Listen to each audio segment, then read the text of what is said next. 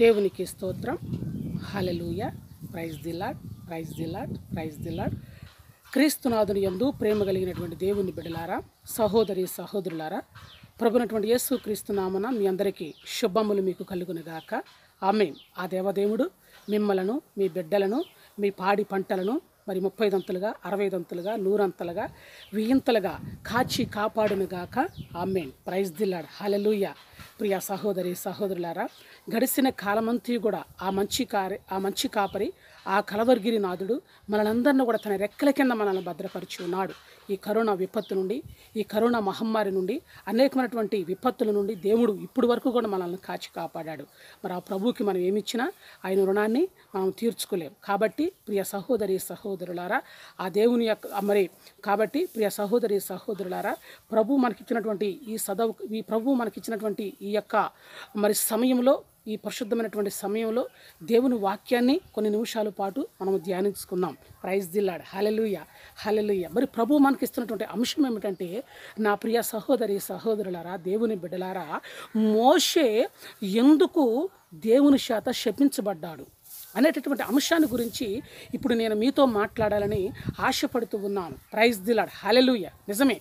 మోషే ఎందుకు దేవుని చేత శపించబడ్డాడని ఈరోజు నువ్వు నేను ఒక్కసారి ఆత్మ పరిశీలన చేసుకుంటే నా ప్రియ సహోదరి సహోదరులారా దేవుని బిడ్డలారా మోషే దేవుని ఇల్లంతటిలో శ్రేష్టమైనటువంటి వాడు.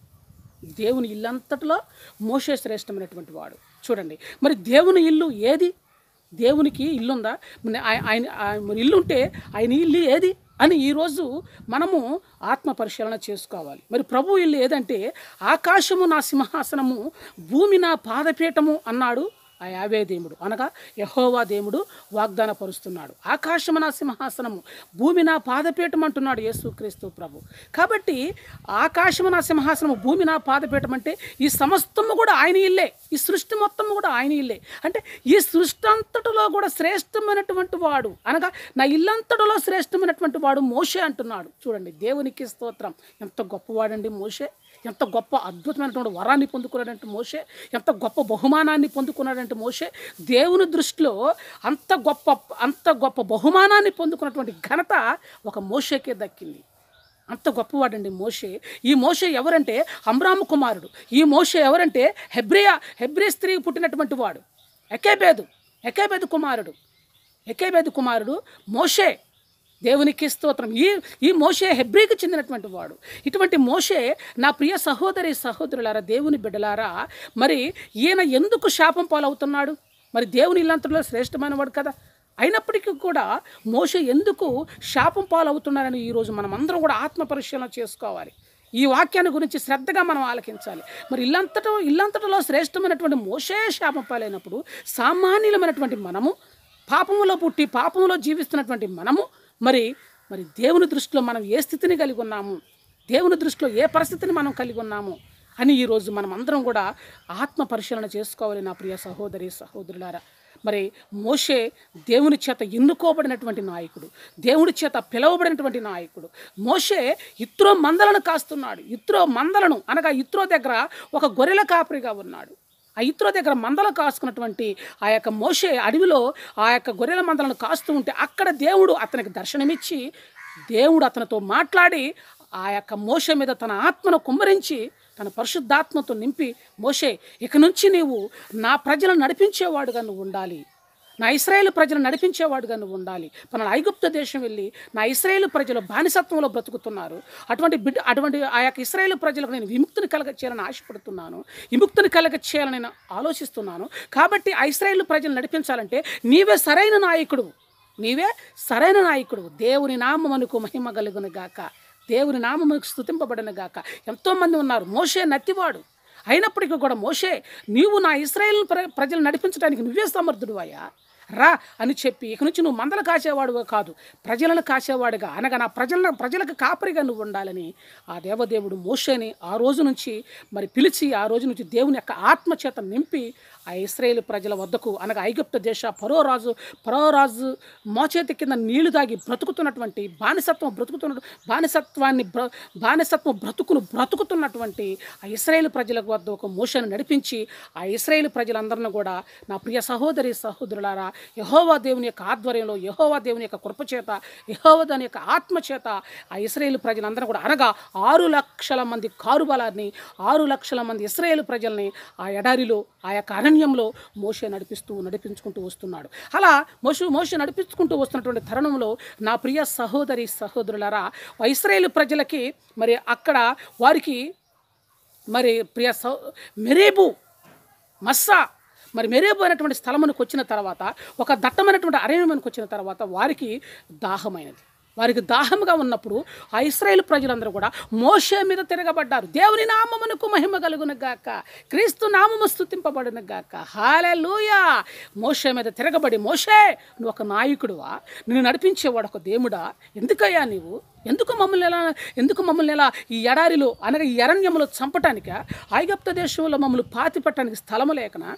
మమ్మల్ని ఈ అరణ్యంలోకి తీసుకొచ్చి చంపటానిక నువ్వు తీసుకొచ్చింది? ఆకలి దప్పుకులతో మేము అలమటించవలసిందేనా? నీ ఈ దాహంతో మేము చావవలసిందేనా? ఎందుకు మోసే చేతగన పనులు చేస్తావు? నువ్వు ఒక నాయకుడివా? అని చెప్పి మోసే మీద వారు గొనుకుతున్నారు సనుగుతున్నారు మోసే మీద వారు తిరగబడుతున్నారు. దేవుని నామమునకు మహిమ కలుగును గాక ఆమేన్. వారు మోషే మీద తిరగబడి మోషే మీద జగడమా జగడమాడుతూ ఉన్నారు.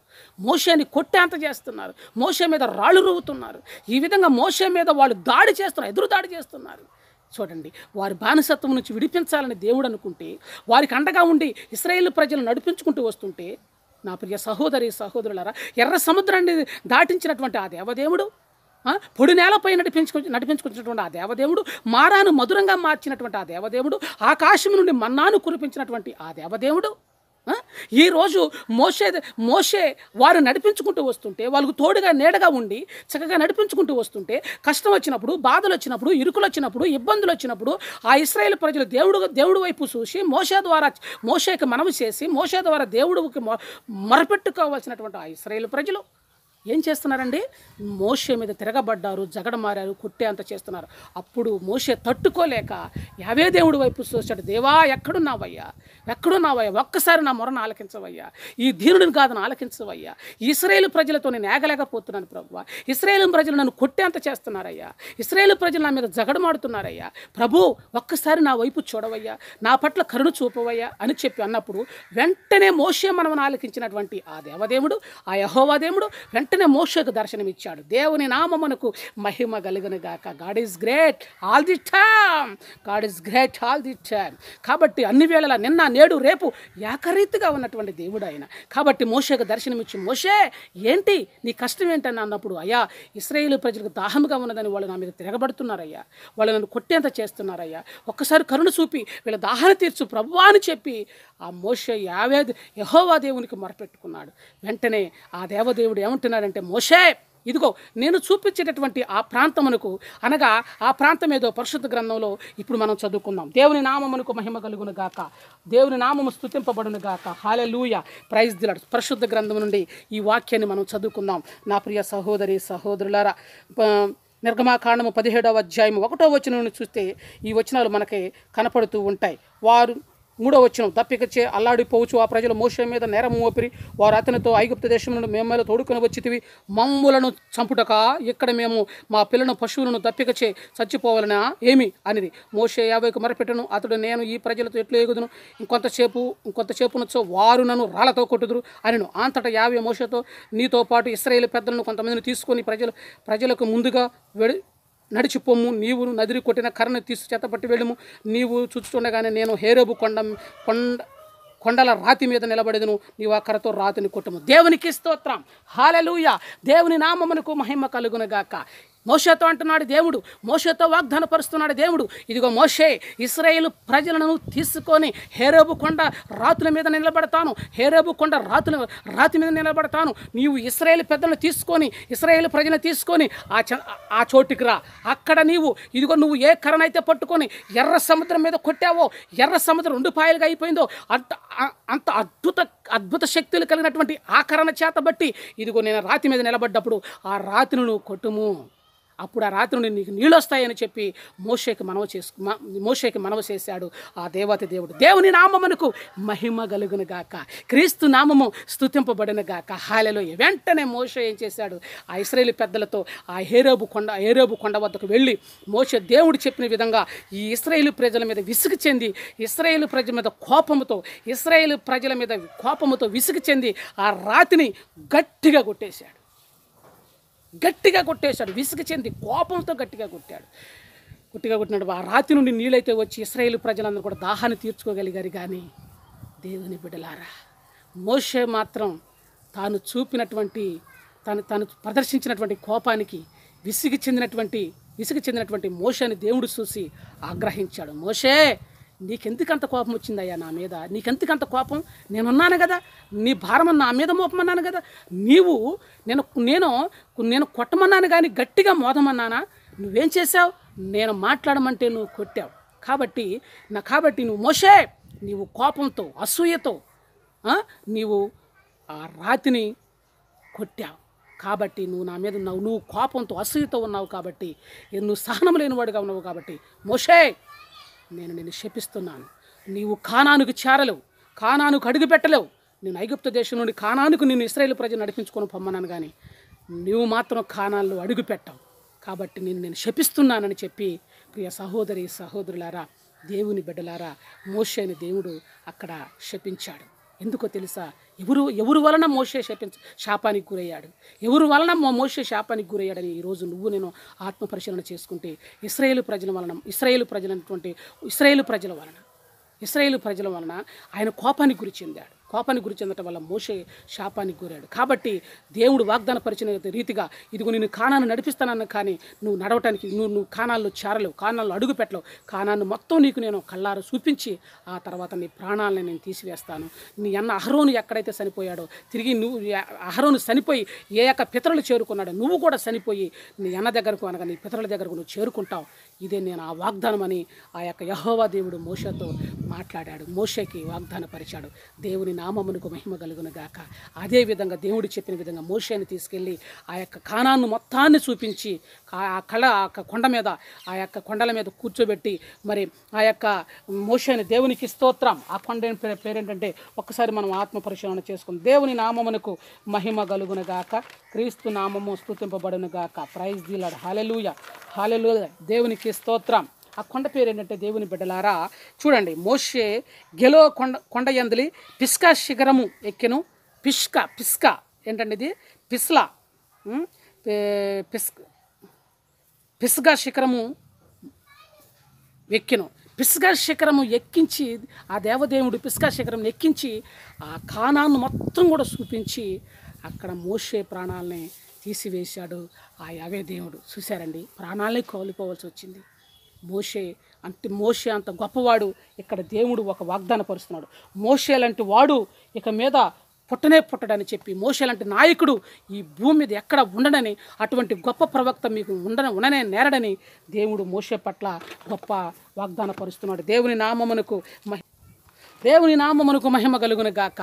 కాబట్టి నా ప్రియ సహోదరి సహోదరులారా మోషే వంటి గొప్ప నాయకుడు ఇక ముందు కానీ ఇక లోగడ కానీ అటువంటి నాయకుడు ఈ భూమి మీద మరెవరూ ఉండరని యావే దేవుడే వాగ్దానపరుస్తున్నాడు. యావే దేవుడే వాగ్దానపరిచాడు. చూసారా దేవుని బిడలారా మోష ఎంత గొప్ప నాయకుడో చూసారా దేవుడి చేత దేవుని ఇల్లంతటిలో శ్రేష్టమైనటువంటి మోషే కూడా దేవుని చేత శాపం పాలయ్యాడు.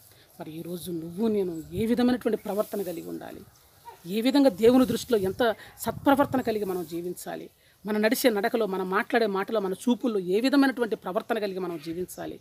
ఈరోజు నువ్వు నేను మనమంతరం కూడా ఆత్మ పరిశీలన చేసుకుని ముందుకు నడవాలి.